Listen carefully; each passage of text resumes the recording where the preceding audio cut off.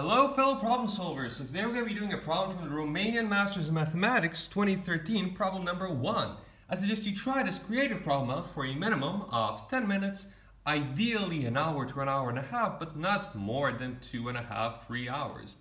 If on the other hand you'd like to go along with us, I suggest you give it a go for the next 15 minutes. So now, without further ado, let's begin. So this is a simple question. It's asking if there exists an infinite sequence, a1, a2, all the way till infinity, such that am and an are relatively prime if and only if their absolute difference is 1.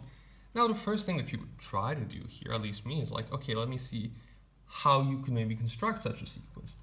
And the only thing that really matters is prime factors. So let's say there's like P1, that's a prime factor, 2, 3, 4, 5, and so on. So now we have A1, A2, A3, A4, A5, and so on. So let's say A1, we give it P1 then we need to give every other number P1, okay?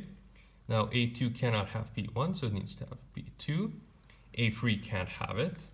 And then A4, A5, and every other number needs to have P2. Okay, so far so good. A3, what about that? Hmm. Well, it we have a problem with A3 because A3 and A4 now both have P1. So we can't really do that. Maybe we give another number here. And now we switch it like let's say a4 has p3 a6 has p3 and now I think a3 and a4 are good. I think oh yes a similar problem will happen with p2 so let's give it another prime number and let's x this one out here and we have this.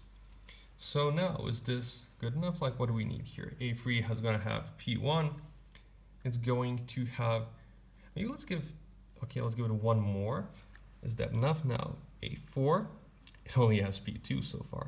Actually, actually it has P2 and P3 because of these two numbers. It doesn't have P4, it doesn't have P5. Um, is that enough? Um, it seems so for now. Oh no, it's not because the, all the other numbers, like the number A7, won't have anything in common with it. So we need to give it another number. And now I invite you here to pause for another, like, you know, 10, 15 minutes and see if you can work this out into an idea. Here's the next step. So now, once you lay out these numbers in a grid, it seems like there's a very simple construction here. You know, P1 and P3 give it to A1, then A2 give P3 and P4, and then, you know, you switch between these two for like the next neighboring twos, and then you have P3, P4, and then again, you switch around, then you give P5, P6, and then again, you switch around with the other ones, like you don't need to touch A1 anymore. You're just giving every number the bare minimum. And I think like if you just construct this, you know, inductively thinking about constructing this, you'll be good. And now, you know, let's construct these numbers. Like how do we formalize this? Like what is the easiest way to sort of formalize this thing? And if you haven't come up with this, I invite you to pause for another, you know, five, 10 minutes and try to like formalize this in a way that you would find comfortable.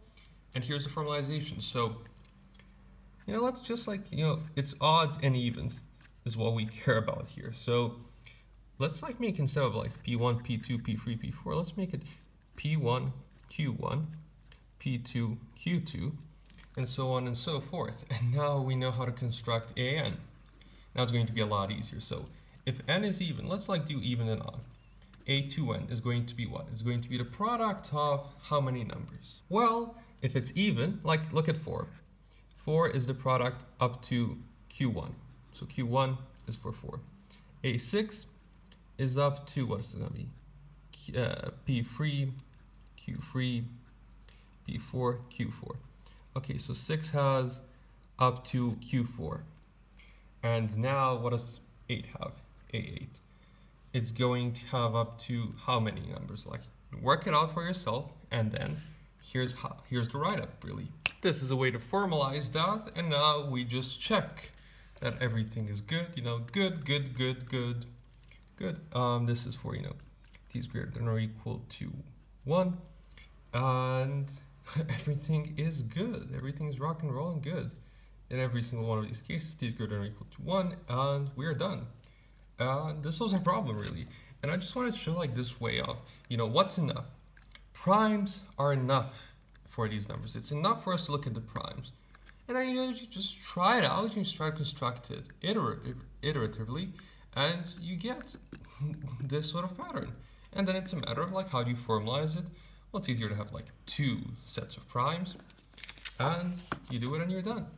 Uh, this solves our problem, and as always, thanks for problem solving.